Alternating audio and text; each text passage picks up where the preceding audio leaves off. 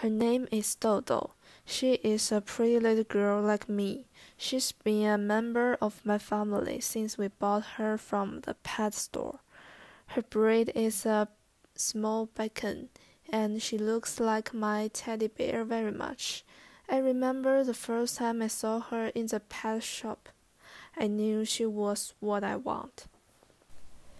And I tried my best to record her every first time. Like the first time back to home, she is as small as a toy. The first time by car with my mom. The first spring festival sharing for the first time.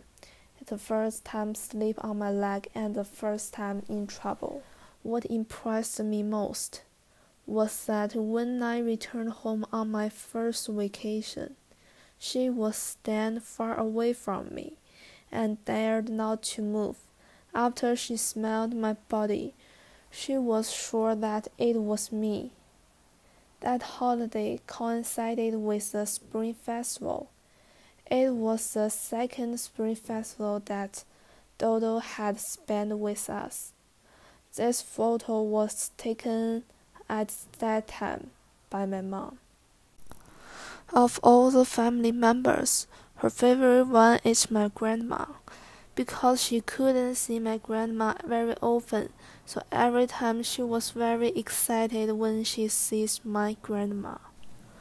I know what she likes to do. At noon, when it's hot, she likes going to sleep under the curtain. When my mom is cooking, DouDou always stands in the kitchen as the most loyal audience, watching my mom's every move.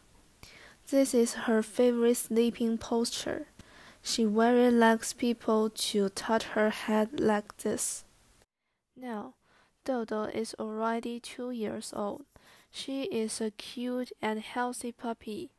I hope she can grow up happily, even if without my company and I hope her can help me to company with my mom. Finally, I want to tell her I miss her very much.